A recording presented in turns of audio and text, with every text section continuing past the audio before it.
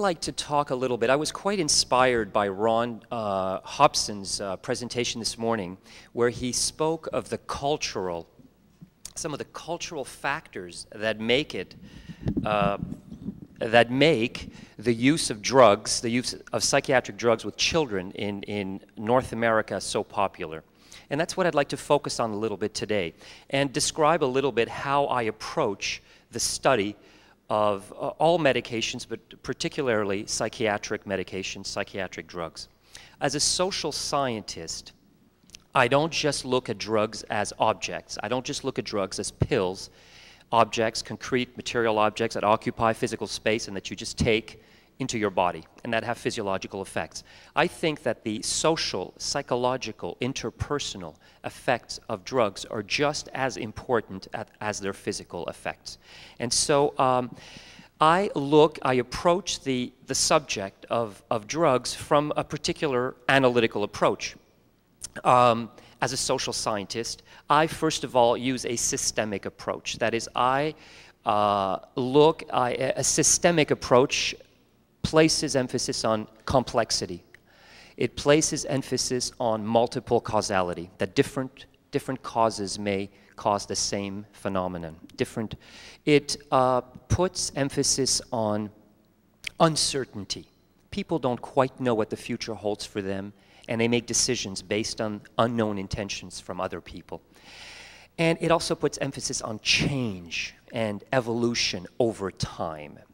And those are some of the principles I apply when I look at drugs, and I'll tell you how I apply that when I look at psychiatric medications and apply this to the use of medications in North America for some children.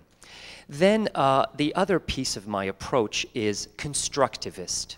And that's a, uh, you could say, philosophy of knowledge that places uh, emphasis on human beings as active constructors of their reality. Through language, through meaning, through experience, people shape their reality. They do it individually, and they do it as groups, and they do it as societies. And what they shape and what they create uh, comes to them to be normal, physical, or social facts that they do not question very much. And another piece of my analytical approach is critical. You could call that a critical approach. Many, many definitions of what a critical approach or critical theory is, but what it really comes down to is stepping outside the traditional ways of looking at an object of study. Generally, when drugs are studied, you look at doctors and patients. You look at the, uh, drugs as a therapeutic object. And so the idea, to, when you want to step outside, you could look at drugs as commercial products the fact that drugs are really manufactured by 15 countries that sell all of the world's drugs to all the other countries in the world. You could look at drugs as uh, vectors of uh, social control. That is, drugs are used to control people, to keep some people in their place and make them believe that they themselves have a problem inside them that requires medication. You could look at drugs as how they trigger personal change. Some people go through a crisis, they take antidepressants, and all of a sudden their whole life changes. They start thinking, uh, they have a spiritual sort of rebirth, or they begin to believe they have a brain disease. You could look at drugs as uh, just how people interface with their doctors. They're like the, the, the, the center of why people talk to their, when they go see their doctor, the conversation for five minutes might be about drugs. You could look at drugs as what makes uh, drug companies and uh, insurance uh, companies and uh, regulatory agencies meet, come together, and discuss. You could look at uh, drugs as uh, symbols, like an automobile is a symbol. And it's not just a means of transportation, but it's a symbol of speed, it's a symbol of masculinity, it's a symbol of freedom. So you see, there are, an object is like, it's a multifaceted object. Depending on your standpoint, it can just sort of twirl like a diamond that reflects light. You can never quite catch it and figure out what exactly is this. So this is to introduce how one might approach as a social scientist medications besides approaching them as I have also spent most of my career approaching them as concrete material objects that have very powerful physical and psychological and cognitive effects on bodies, on brains, and on thinking and behaving. So one of the ways using this approach that you can begin to look at drugs is to understand that they have a life cycle, a very complex life cycle. And you could conceptualize this life cycle as beginning with some kind of conception.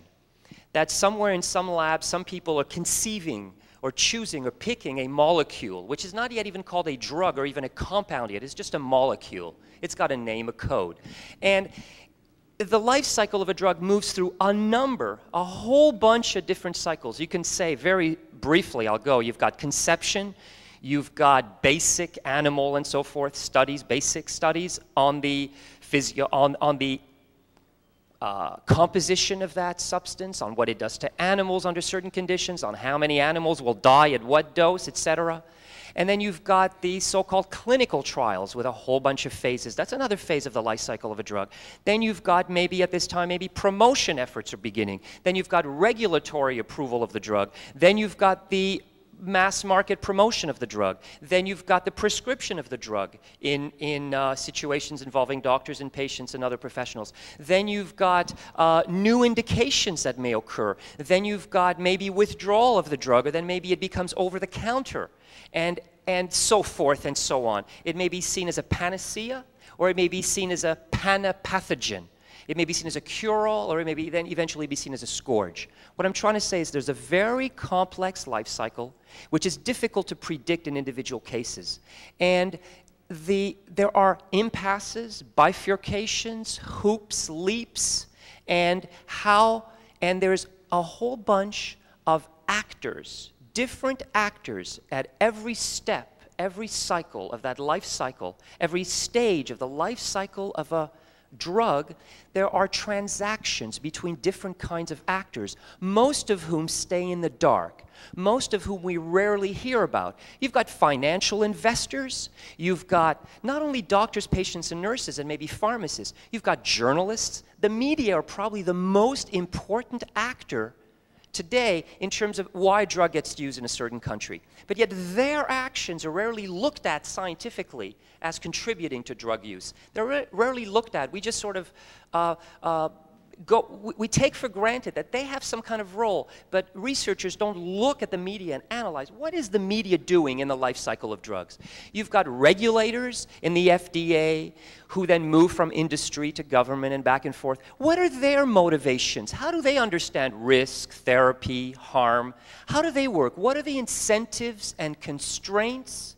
On their behavior as they're going about their daily work.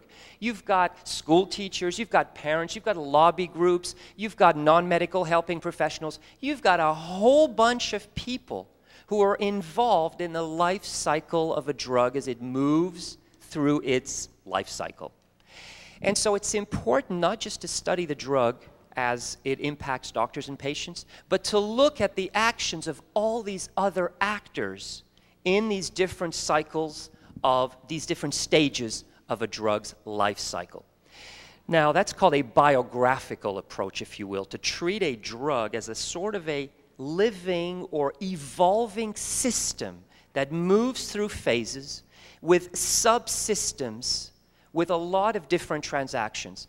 And the impact of an early, for example, the impact of the kinds of transactions that go on for example, as Peter Breggin has documented, when you've got negotiations going on between the drug company and the FDA people over the what is exactly going to be the wording, the exact wording on the label for that drug, you see, this information is not available to the general publics and not available to most physicians and not available to most public health authorities.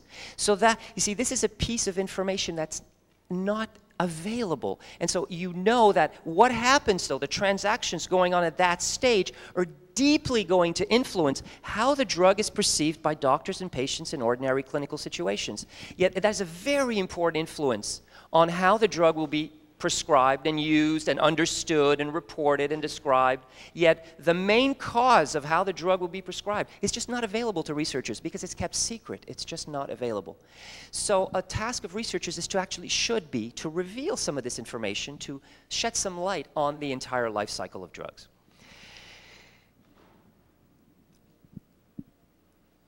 Which brings me to how drugs can be treated entirely differently in different countries. And I'm going to, to use the example of France and the United States and Canada uh, with respect to Ritalin. Now, what I have started to do a couple of years ago, I've started to sort of embark on this, on this uh, uh, project where I'm studying about nine different countries uh, to see how the use of stimulants and psychiatric drugs generally, mostly antidepressants, anticonvulsants, with problem children differs from country to country and why it differs. I'm interested in the dynamics of why it's so different in the, Uni in the United States or Canada than in France with respect to the use of Ritalin. Like, what happens? Who's doing what to whom such that there's much more, there, are so many more prescriptions of Ritalin in the United States than in France. Let me just first start by giving you some couple of figures on how the diff, what is the difference. Now, the difference is pretty astounding. I have the figures from Novartis Pharma, which makes Ritalin, in, it's the only stimulant on the market, the only stimulant uh, on the market in France right now, the only psychostimulant prescribed to children is by Novartis Pharma, and, it's, and, and there's a requirement that uh, the, the data must be uh, reported every year to such an agency, a uh, sort of equivalent of the FDA. And so I have the data from that French equivalent of the FDA and from Novartis Pharma. And in all of 1999, in a country of France, which is a country of about 60 million inhabitants, you had less than 5,500 children on Ritalin in all of France, 5,500 kids. Probably in one borough of New York, you've got 10,000 kids on Ritalin. Now, that is compared to easily three to four million children in this country on Ritalin. So it's, it's an astounding, astounding difference. Now, what happens? So, um, what I do, and I've done this now with Canada, I'm doing it with France, and I have a bunch of countries that I've picked, like Hungary is one, Spain is another, Israel is another, Australia, and um, I believe the, I forget, there's nine countries. The reason I've picked them is I've picked some countries where there is very, very little use, almost nil, like France, and some countries where it's growing very fast. Israel is one of those countries, for example. Spain is a country where the use is still, still very, very low, but rapidly changing. The UK is another country where the use of Ritalin is just growing by about 300% every year. It went from about 14,000 prescriptions about five years ago to about 192,000 prescriptions today. So it's just growing leaps and bounds. Still very little compared to the United States, but extremely limited.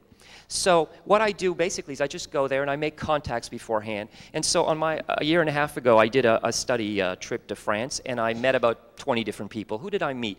I met uh, about three school teachers.